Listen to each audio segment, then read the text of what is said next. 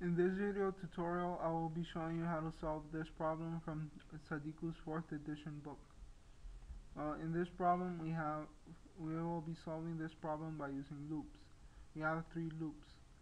In the first loop, which is this one right here, is um, 4i1 plus 3i1 minus 3i2 equals to 21 because the current enters to through the negative and, and comes out to a positive, it's negative in this side and comes comes becomes positive in the other side.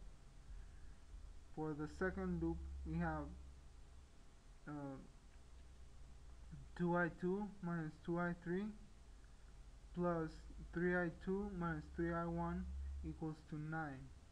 And for the last loop, we have 6i3 plus 2i3 minus 2i2 equals to 0.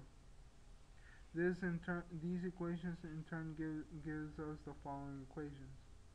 7i1 minus 3i2 plus 0 equals to 21 minus 3i1 plus 5i2 minus 2i3 equals to 9 and 0 minus 2i2 plus 8i3 equals to 0